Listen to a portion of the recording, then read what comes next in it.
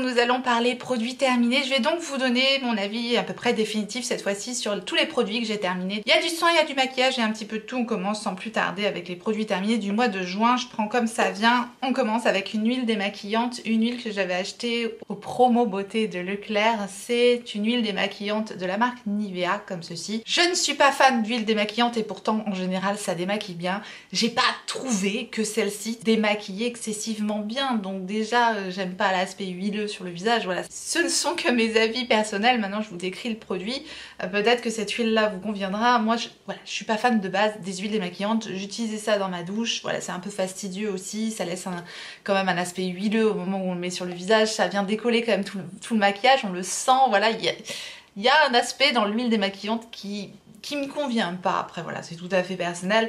Néanmoins, bah, voilà, ça c'est un tout petit prix. C'était pas trop mal. L'odeur était pas désagréable. C'était pas mauvais comme produit, clairement. Je ne peux pas jeter très très loin ce produit, comme vous savez qu'on a l'habitude de faire ici sur cette chaîne. Oui, oui, on jette très très loin les produits qu'on n'a pas aimés. Euh, non, celui-là, je vais pas le jeter parce que c'est vraiment pas de sa faute. voilà, c'est personnel. Je suis pas fan des huiles démaquillantes. J'ai encore retesté et je pense pas que je rachèterai. Bah, c'est clair que du coup, je ne rachèterai pas ce produit. J'ai terminé ma Beauty Water et je vous en ai parlé en fait dans mes favoris du mois. Si jamais vous n'avez pas vu ma vidéo favori du mois, je vous la remettrai dans le i à disposition.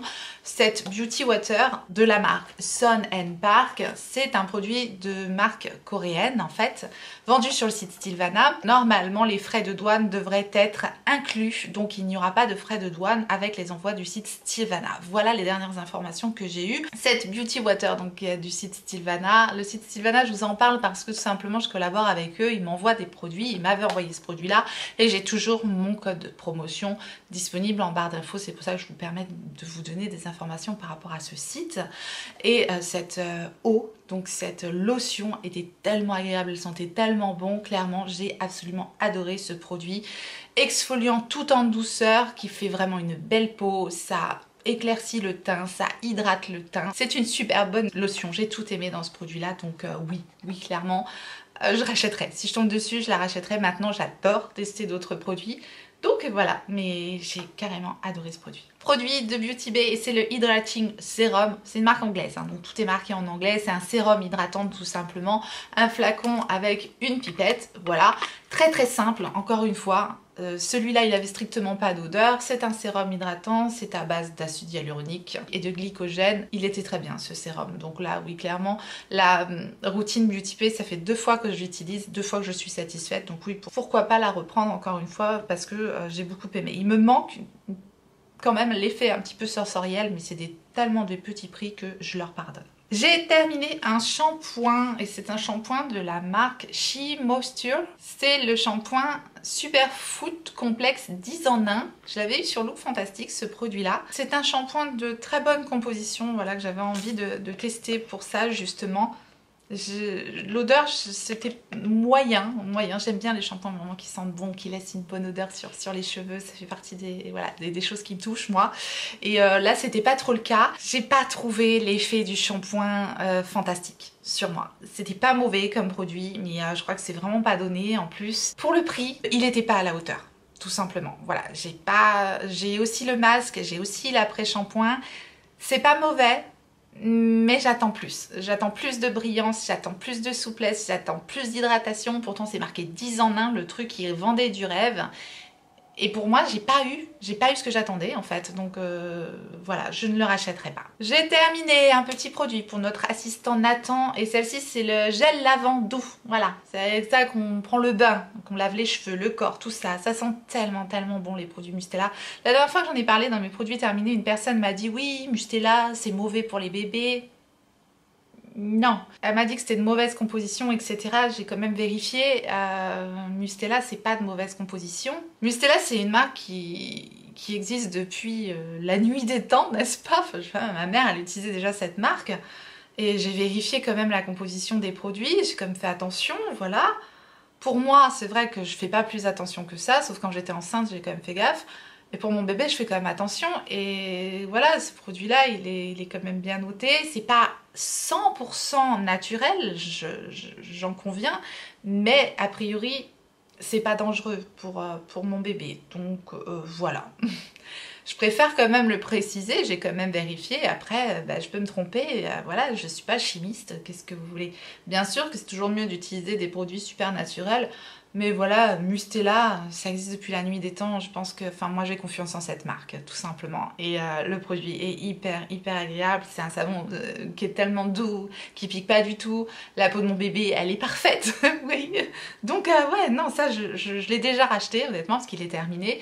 Et je l'adore. Donc, c'est vraiment, moi, une marque que je conseillerais pour les mamans, grand-mères, futures mamans, en tout cas, je l'adore. C'est un conditionnement de 500 ml. C'est à base d'avocat, voilà, aux actifs naturels brevetés. Moi, j'ai confiance en ce produit-là. Donc voilà, je, ne sais pas où cette personne avait eu ces informations. J'ai pas eu de lien ou d'article particulier. Du coup, ça m'a fait peur. J'ai été vérifiée encore une fois parce que ben, moi, je, ne suis pas parole d'évangile. Je peux aussi me tromper, bien sûr. Ça m'arrive régulièrement, vous le savez. Mais euh, je fais voilà, je fais de mon mieux. Je suis humaine. Voilà. je, m'appelle Torty Beauty, mais je suis humaine avant tout, tout de même. Justement, on en parle. J'ai testé, avant d'acheter la gamme Drunk Elephant, j'ai testé la gelée nettoyante fondante. Écoutez, je ne parle que du petit échantillon que j'avais eu, sans vous parler des tests que j'ai commencé à faire sur ce produit-là. Il me desséchait un peu la peau je sentais ma peau un peu trop sèche après avoir utilisé ce produit. Je continue à l'utiliser. Je ne peux pas m'avancer sur uniquement un échantillon et les quelques fois où j'ai utilisé là le produit pour le moment, j'attends. J'attends de voir, mais a priori, ça fait partie des produits à moi qui me conviendront pas. À savoir, c'est quand même des soins qui coûtent très très cher, donc j'en attends énormément de leur part. Et celui-là, la gelée nettoyante fondante, hmm. après c'est un gel purifiant, est-ce que c'est pas plutôt pour les peaux grasses, qui n'est pas mon cas? À voir je continue les tests et je vous en reparlerai. J'ai terminé des lingettes Sephora, voilà, c'était en cadeau je crois euh, à, un moment euh, gold, je sais pas quoi. J'achète plus ces, lingettes là clairement. Voilà, je les ai utilisées. Je les avais, je les avais utilisées, je ne me démaquille pas avec ça parce qu'en plus c'est les exfoliantes au bambou. Pour le coup, là, je vous déconseille de vous démaquiller avec ça. Enfin, à moins que vous ayez que ça, c'est vraiment mieux que de ne pas se démaquiller du tout. Euh, ça arrache quand même la peau, c'est quand même vraiment très agressif pour la peau, je trouve, et ça démaquille vraiment pas bien. Donc, euh, si vous avez que ça sous la main, ouais. Mais si vous avez autre chose, voilà, moi j'utilise ça pour euh, nettoyer les swatchs, voilà, je les ai quand même nettoyés, je les ai quand même utilisés, mais pour me démaquiller, maintenant j'utilise des disques euh, réutilisables, des cotons réutilisables, de, les disques que j'achète sur Amazon. Et puis euh, voilà, mon, démaquillant biphasé Garnier, c'est celui que, j'adore, plus un lait. De Drunk Elephant, j'avais testé aussi la crème aux polypeptides. Et je crois que ça fait partie aussi des produits qui m'ont pas extrêmement convaincue. Sur cet échantillon-là, j'ai eu euh, vraiment énormément de mal à faire pénétrer le produit dans mon visage, quoi. Pourtant, euh, j'en ai pas mis beaucoup. Crème aux polypeptides qui hydrate, qui nourrit et qui retend la peau, si je comprends bien, c'est marqué en anglais. Bon, c'est pareil, je continue mes tests sur ce produit-là. Écoutez, euh, moi je suis pas complètement convaincue pour le moment. Euh, il y a des produits pas mal, hein. chez l'éléphant bourré, il y a des produits pas mal. oui, je dis l'éléphant bourré parce que vous m'avez confirmé que Drunk Elephant c'était bien l'éléphant bourré. Donc bon, c'est pareil, je reparlerai, si pour le moment je suis pas fan. Hein. Il y a des produits qui me conviennent, quand même dans cette marque et puis d'autres moins. Je continue, vous, je sais pas si vous aviez vu mon haul hein, euh, où j'ai acheté toute la petite trousse avec tous les échantillons de tous les produits. Il y en a certains quand même qui sont pas mal, hein, je vous rassure, mais vu le prix de, la marque, je vous en reparlerai, c'est promis. J'ai terminé un baume à lèvres de la marque Incredible qui se présente comme ça. C'était un baume à lèvres en fait avec un tout transparent avec une espèce de petite fleur dedans. À un moment donné, il y avait plein de marques qui avaient sorti des trucs comme ça. Bon, euh, alors ça, j'ai pas aimé. J'ai pas aimé le, baume à lèvres parce que euh, il était assez difficile, pas assez onctueux sur les lèvres. J'aime pas les trucs qui collent, j'aime pas les trucs qui sont trop épais. Mais là, pour le coup, fallait vraiment y aller, y aller, y aller, y aller, y aller pour avoir un minimum d'hydratation. Et pour nourrir les lèvres il faut quand même quelque chose qui voilà qui, vienne quand même euh, envelopper les lèvres. Et là il fallait passer passer passer. Non j'ai pas été convaincue par ce produit. Puis la petite fleur à l'intérieur c'est complètement euh, c'est mignon. Ça fait un joli raisin comme ça. Mais à un moment donné quand on tombait sur ces, espèces de petits grains ça piquait un peu quand on passait le, baume. Non ça franchement euh, j'ai pas aimé et je rachèterai pas j'ai terminé un contour pour les yeux de la marque Ole Henriksen ou Ola Henriksen, je ne sais pas comment ça se dit, veuillez m'excuser également pour cette erreur, n'est-ce pas? J'ai bien aimé ce contour pour les yeux. Celui-là, il faisait partie de mes favoris également. J'ai bien aimé le conditionnement. Flacon pompe, euh, ça remonte une espèce de soupape. Et là, pour le coup, on utilise vraiment, vraiment tout le produit jusqu'au jusqu'au bout. Et ça, je trouve ça génial comme conditionnement. Aucun gâchis quand on utilise ce genre de conditionnement. Et ça, j'adore. Ça, j'adore. J'ai beaucoup aimé. Je l'utilisais plutôt la nuit parce qu'il est très riche. Enfin, la nuit, oui, en, euh, en contour de nuit le soir en fait, dans ma routine de soir, parce qu'il est très riche, il laissait quand même un, aspect un petit peu gras sur le contour des yeux, vraiment un tout petit peu. Et c'est pour ça que je préférais l'utiliser euh, bah, comme, soin de, nuit parce qu'il était vraiment très nourrissant et euh, j'ai bien aimé, vraiment j'ai bien aimé, pourquoi pas le racheter? Mais il y en a un autre que j'ai terminé et qui l'a détrôné et que j'ai absolument adoré pour le coup. Et c'est le contour des yeux de Fenty Skin donc le Flash Nape. Je crois qu'il est moins cher le contour Ole Henriksen. Et euh, voilà. Là c'est pour le coup c'est juste un, petit tube. Donc autant vous dire que j'ai écrasé le tube en long en large et en travers. J'ai failli le découper mais bon bref je crois que j'ai réussi à tout avoir. Conditionnement ultra simple. C'est un tube mais il est moins cher je vous ai dit. Donc et euh, ce que j'aime énormément dans ce produit là c'est que c'est un effet gel crème qui pénètre très rapidement et qui laisse un aspect tellement frais et tellement agréable sur le contour des yeux. J'ai absolument adoré ce contour des yeux. C'est mon meilleur contour des yeux actuellement et euh, je finis celui, je pense, je finis celui de Drunk Elephant, à ta santé. Et euh, je pense que je rachèterai le Fenty Skin parce que je vous dis, très bonne hydratation, on peut se maquiller derrière sans aucun problème, ça laisse pas de film gras, ça pénètre instantanément. Il est très fin, il vient vraiment estomper les petites ridules, on perd pas 10 ans hein, clairement avec le contour des yeux, mais vraiment ça m'a fait du bien mon contour des yeux. Et cet aspect frais, très efficace quand on est fatigué, qu'on a des poches sous les yeux, etc. J'ai absolument adoré. Donc oui, oui, oui, ça je le rachèterai. Toujours de Fenty Beauty Airy, j'ai fini la crème de nuit et ça c'est le full size, hein. c'est la taille réelle. Donc c'est un conditionnement en fait euh, qui euh, est réutilisable avec une petite spatule comme ça. Et donc le pot, on peut, le, on peut racheter uniquement le, pot pour recharger, euh, pour recharger la crème. Donc autant vous dire, voilà, Autant vous dire que ça, c'est génial parce qu'on économise en plastique, toc. Puis en plus, ça nous fait racheter le produit. Elle est maline, hein, Fenty Riri.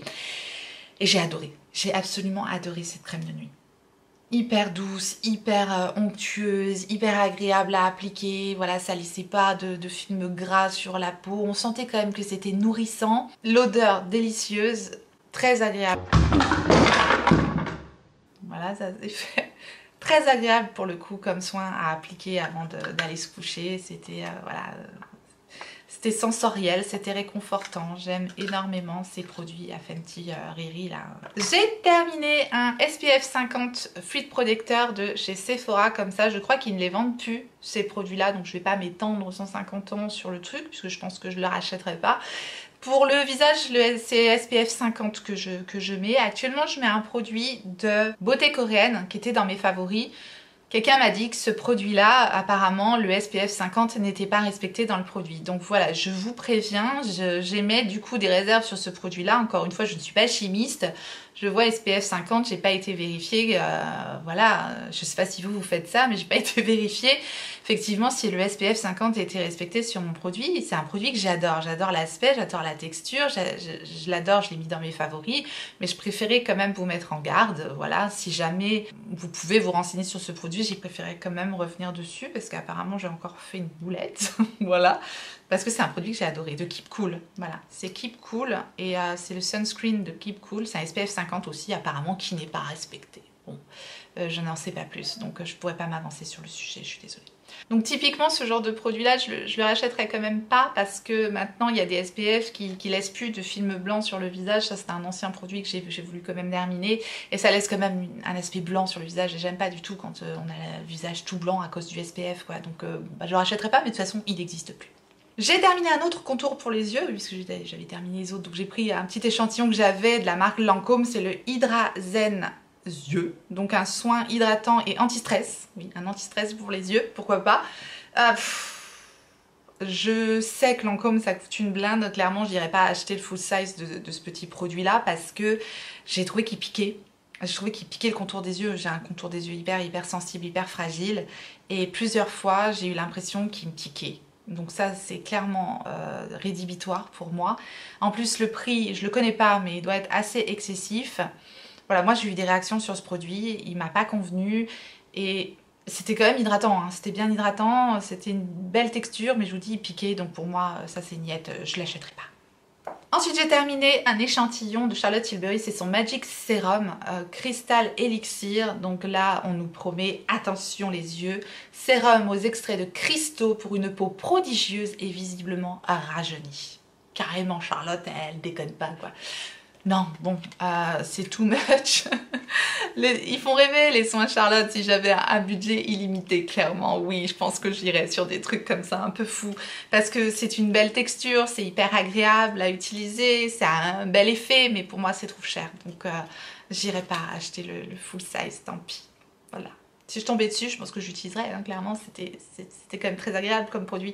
Autant je mets quand même cher dans mes produits maquillage, Autant pour le soin, non, je suis pas encore prête à mettre des mille et des donc euh, non, je passe mon chemin pour, pour celui-là. J'ai terminé un masque tissu après soleil de Ambre Solaire Garnier, de Garnier, voilà, je l'avais trouvé à Action. Ce masque-là, je sais pas s'il les a encore, ça fait, s'ils les ont encore, ça fait une éternité que j'ai pas été chez Action. Voilà, avec les événements, ça fait très très très longtemps que, que j'ai pas été. Mais si je retombe dessus, j'en rachèterai parce que c'est hyper agréable. C'est vraiment frais, ça apaise. C'est euh, à base d'acide hyaluronique et d'amamélis apaisant justement. Je sais que quand j'ai passé une journée euh, à la piscine ou autre, j'aime bien mettre ce genre de, de masque parce que justement c'est apaisant, ça vient vraiment donner une grosse dose d'hydratation au visage et ça c'est ça c'est très très bien quand on a un petit peu le temps de se plaquer un masque. Puis après ça ne nous empêche pas de, changer la couche en parallèle.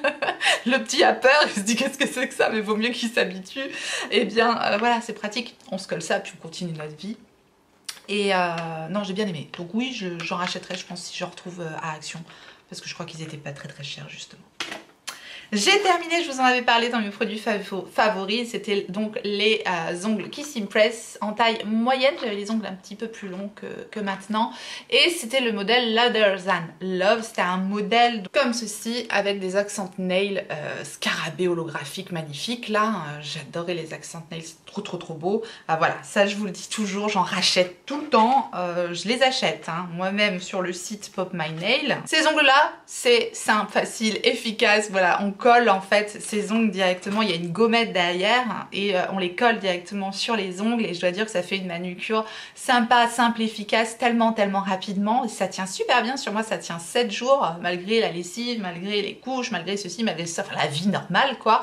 Sur moi ça tient très bien, il faut bien les coller en nettoyant, dégraissant bien l'ongle euh, à la base, il faut bien les coller dans le bon sens et prendre une taille qui est pas trop grande et comme ça il n'y a pas de décollement de, des ongles.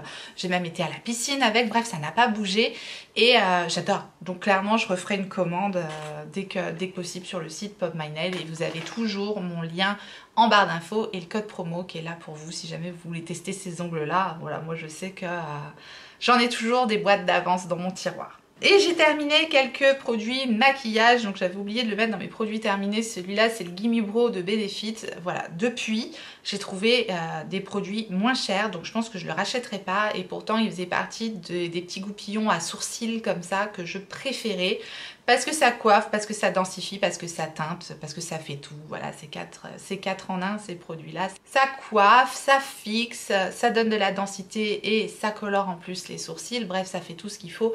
Donc j'aurais acheté ça si j'avais pas le petit produit Beauty Bay qui est venu en fait détrôner tout simplement le, Gimme Bro. Voilà, c'est le, euh, le bro fixeur de Beauty Bay est moins cher. Donc je pense que je rachèterais plus celui-là que le Gimme Bro de Benefit. Voilà. J'ai terminé également l'anti-cerne de Givenchy, donc j'avais eu en solde, sinon j'achète pas d'anti-cerne Givenchy. J'ai été super super déçue par ce produit-là, je l'ai trouvé très épais pour un produit de ce prix-là. Franchement, bah non, à part le packaging qui est joli, hein. Euh, non, rien de plus quoi. J'ai pas aimé l'anti-cerne trop épais. Givenchy, euh, voilà, c'est quand même une marque d'un certain standing et j'ai trouvé le produit qui n'était pas du tout à la hauteur. Donc ça, non, clairement, je ne rachèterai pas. Et enfin j'ai terminé le Super Liner Sim de L'Oréal et donc c'est un produit pour faire des smokies hein, comme son nom l'indique avec un espèce de gros embout comme ça. Voilà, euh, c'était pas mauvais comme produit mais bon, je préfère utiliser un crayon de jumbo que, que ce genre de produit là. Voilà, c'était un petit peu sec quand même, c'était pas ce qu'il y avait de mieux pour moi pour faire un smoky. Bon, je l'ai utilisé, mais sans plus. Donc je pense que je le rachèterai pas, mais euh, il mérite pas d'être envoyé boulet, donc on va le laisser tranquille celui-là. Voilà, j'en ai donc terminé mes produits terminés du mois de juin. On se retrouve pour les produits terminés du mois de juillet très prochainement. Bien avant ça, vous aurez plein de vidéos, des crash tests, des Get Ready With Me, euh, de la folie, de l'humour, du bonheur, du partage, du make-up. je m'emballe. Bref, je vous remercie infiniment d'avoir regardé cette vidéo et j'espère de tout cœur que vous avez passé un bon moment. Si tel est le cas, laissez-moi un petit like avant de partir. Merci à tous ceux qui penseront à faire ce petit clic pour moi. Si vous n'êtes pas encore abonné, bienvenue. Abonnez-vous et activez votre clochette pour savoir quand est-ce que je ressortirai une vidéo. Et en attendant la prochaine, n'oubliez pas, on n'a qu'une vie. Et moi, je vous fais des gros bisous.